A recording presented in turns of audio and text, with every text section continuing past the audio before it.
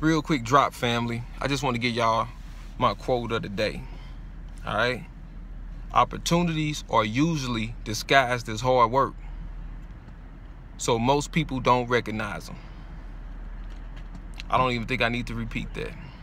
Just think about that.